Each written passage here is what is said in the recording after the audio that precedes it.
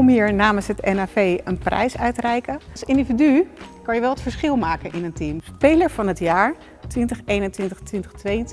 Vaidas.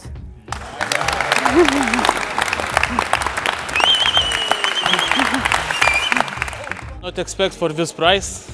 Of course, thank you for the club, for the coach, for the teammates. Iedere trainer zo'n speler waarin zijn ploeg wil. Het is niet alleen dat hij uh, uh, natuurlijk doelpunten maakt en aanvallend speelt en de boel verbindt, maar het is ook een heel, echt een trainingsbeest. Thank you for the coaches who vote for, for me. Thank you very much and I hope we can repeat for next year.